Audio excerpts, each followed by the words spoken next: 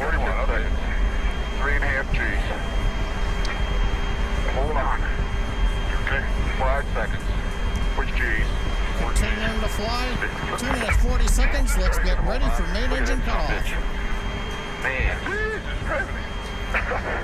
well, I guess we got all Beginning five. The flip for stage separation. Yeah, let's get it, let's get it. Seriously, I'm going to start. Sure felt like it, damn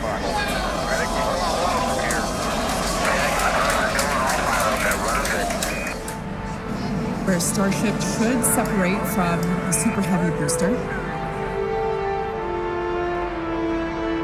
Yeah, Kate, right now it looks like we saw the start of the flip, but obviously we're seeing from the ground cameras the entire Starship stack continuing to rotate. We should have had separation by now.